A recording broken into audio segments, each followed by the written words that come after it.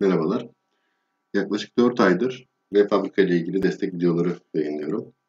Bu videolar sonucunda e, birçok arkadaşımızın e, güzel çalışmalar yaptığını e, görüyorum ve biliyorum. Kimileriyle e, yazışıyoruz, telefonla görüştüklerimiz de var. E, bugün sizlere şöyle bir çalışma göstereceğim. Bakın sahnede bir elips e, nesnemiz var sahne sınırlarına değdiği zaman yön değiştiriyor ve renk değiştiriyor aynı zamanda. Bunu nasıl yaptık? Düşünmenizi istiyorum ve e, size şöyle bazı ipuçlarını vereyim. Burada zamanlayıcı ekledim. Şu an 8 tane var.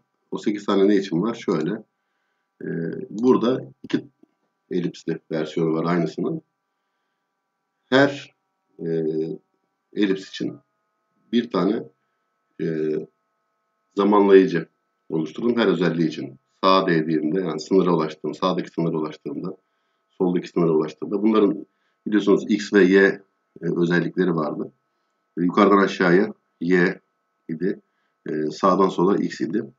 Ne yapıyoruz? E, bu sınıra ulaştığında X sıfır olduğunda aşağıya dön. E, X işte sahne sınırına ulaştığında kaç yaparsanız sahne sınırınızı yukarıya dön gibi bir komut veriyoruz. Aynı şekilde sağ sınıra ulaştığımda, sola dön sola ulaştığımda sağa dön şeklinde bir komut veriyoruz. Böyle e, çapraz e, ilerlemiş oluyorlar. E, bunu yapıp bu çalışmayı hazırlayıp bu benim kanal sayfamda e, mail adresim var zaten şurada hakkında kısmında.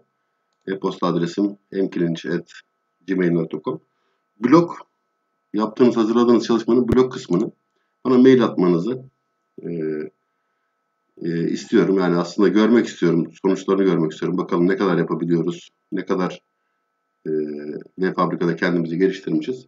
E, çok zor bir çalışma değil. Sadece elipsin özelliklerini alıyorsunuz. E, X konumu ve Y konumu özelliklerini zamanlayıcıyla, zamanlayıcı şu kadar ilerlediğinde her tikte e, şu kadar ilerlet gibi bir e, komut veriyorsunuz. Eğer kullanıyorsunuz. Bir tane eğer kullandım. Hiç değişken kullanmadım. Değişken kullanarak daha e, efektif, daha kolay yapılabilirdi ama değişken kullanmada sıkıntı yaşayabiliriz diye e, bu sefer değişken kullanmadım. Ne oldu? Zamanlayıcı sayısını artırdım. E, 4 tane zamanlayıcı kullandım. Oysa ki e, değişkenle daha az zamanlayıcı kullanarak yapabilirdim. Zaman çizelgesi hiç kullanmadım. Bakın zaman çizelgesinin sadece bir karesine çalıştım. Buna dikkat edin. Ee, zaman çizelgesiyle de yapabilirdik bunu. Mesela 10 kare ilerlediğinde birinci pozisyonu buraya koyup 10. karede pozisyonunu yukarıya koyup yapabilirdik ama hep aynı şekilde dönerdi. Ee, kısır bir döngü oluşurdu. Onun için biz e, serbest geçsin diye istediğimiz sürede e, bu daireleri hareket ettirebiliyoruz. Bir tanesini yaptıktan sonra zaten ikincisini sadece kopyala yapıştır ve e, elipsin adını değiştirip zamanlayıcıların adını değiştirip tekrar edebiliyoruz. Mesela böyle bunlar da kullanabiliriz. E, bir çalışma yaptık. Sahnemizde böyle yüzen e, nesneler olabilir. Hatta bunları bakın sürüklenebilir de yaptım bu arada. Şöyle bakın istedim bıraktığım yerden devam etmesi için. Şöyle nereden tuttuysam oradan devam ediyor bakın şöyle. Gördüğünüz gibi. Bıraktığım yerde kalsın deseydim o zaman geri de dönmeyecekti. Şimdi e, bakın renk de değiştiriyor bu arada kenara çarptığında. Bunu nasıl yapabiliriz? Bana bloklarını gönderirseniz e, çalışmamızı görmüş oluruz. Bu arada blokları gönderen arkadaşlarıma da e, özel bugüne kadar anlatmadığım bir konuyla ilgili liste dışı bir video e, göndereceğim.